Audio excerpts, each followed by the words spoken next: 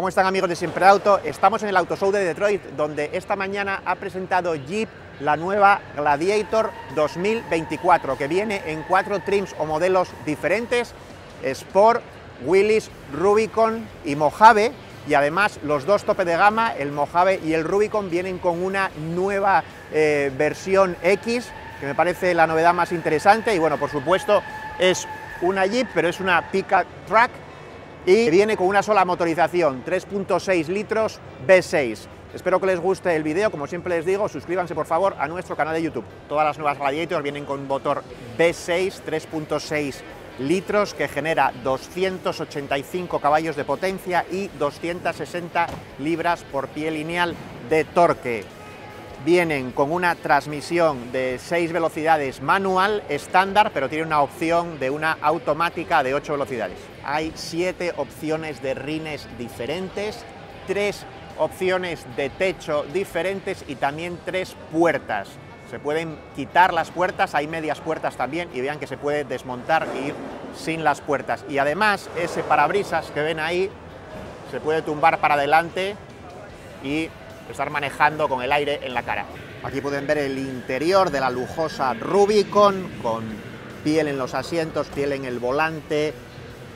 Vean el interior de la puerta, bastante tecnología. Aquí han incluido una pantalla horizontal y el display del conductor, no lo podemos arrancar.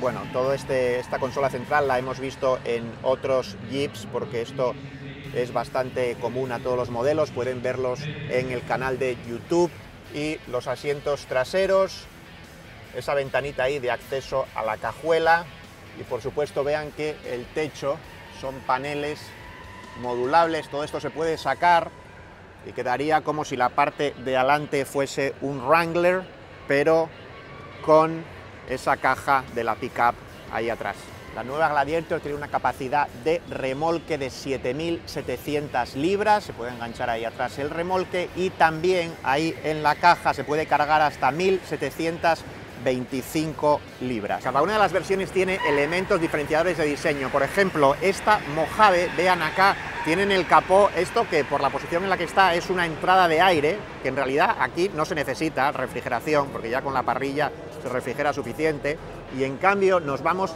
para la Rubicon y lo que tiene son salidas de aire aquí en el capó, que eso sí me parece más lógico. Vean la parrilla y si nos vamos a la Willys, tenemos aquí las tres versiones una cerca de otra, la Willys vean que no tiene en el capó arriba ni salida ni entrada, pero tiene este diseño de una versión Willys totalmente en negro por fuera y por dentro, con este parachoques aquí delante reforzado. Aquí podemos ver bien toda la parte de los amortiguadores y ese eje delantero.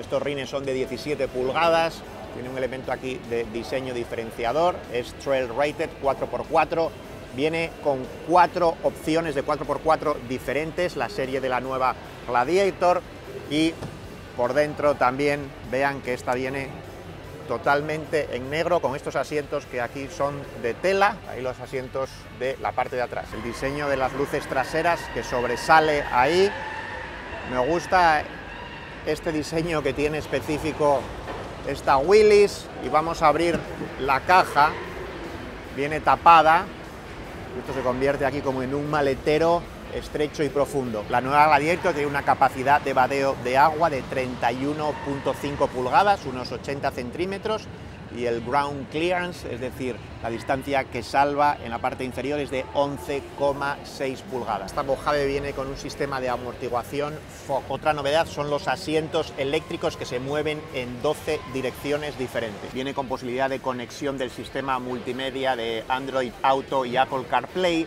y una novedad importante es que aquí, en esas barras que ven ahí, se incluyen airbags de cortina lateral, tanto en los asientos delanteros como en los asientos traseros. Así que una mejora considerable de seguridad. A partir de la versión Sport S y de ahí para arriba viene con velocidad de control de crucero avanzada, así la llaman, que es como la adaptativa, pero que también además llega a pararse en cero si el tráfico eh, está totalmente parado.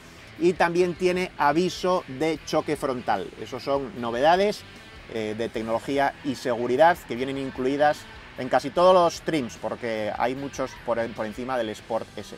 Las versiones tope de gama Mojave X y Rubicon X vienen con un parachoques de acero, véanlo ahí, con cámara frontal para off-road, con asientos de piel de napa, es decir, lujo en el interior. No tenemos todavía los precios, pero esos no van a ser baratos.